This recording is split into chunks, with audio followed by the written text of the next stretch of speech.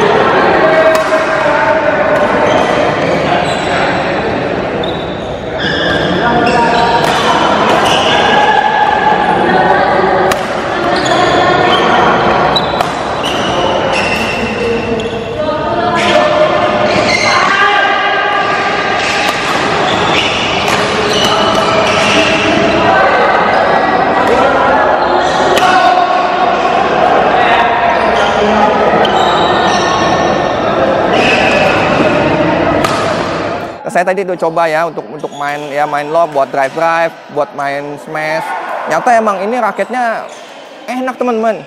Jadi nggak kalah ini dengan Tornado 800. Saya kan nggak dulu punya Tornado 800 ya. Malah ini kayaknya kalau untuk defense lebih enak ini nih. Saya lebih cocok ini nih. Jadi buat cemes juga powernya powerful, buat apa buat drive drive, buat defense defense juga enak ini raketnya gitu ya. Jadi ini ya bisa jadi alternatif ya buat teman-teman gitu kalau mau membeli raket mau cocok Tornado 800 ini kan harganya lebih murah nih. Uh, bentuk-bentuknya semuanya kan mirip-mirip Tornado 800 jadi teman-teman bisa jadi alternatif pilihan ya ini yang fly power cakra nih ya.